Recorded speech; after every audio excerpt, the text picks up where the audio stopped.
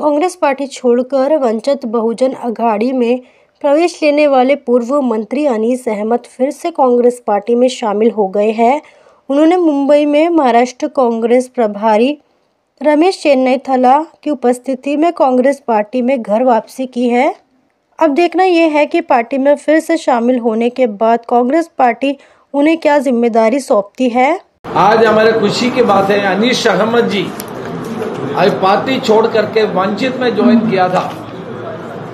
आ, उन्होंने वंचित के लिए नॉमिनेशन फ़ाइल करने के लिए गया था लेकिन समय बीत गया तो उसको नॉमिनेशन नहीं कर पाया।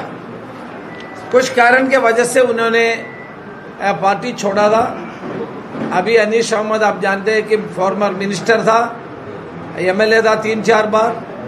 और हमारे एसीसी मेंबर था एनएसयूआई और यूथ कांग्रेस के समय से मेरे साथ काम किया है। वो खुशी के साथ मैं आपको बताना चाहता हूँ। वो अभी मंजिश से इस्तीफा कर, दे करके कांग्रेस में वापसी आ रहे हैं। घर वापसी हो रहे हैं।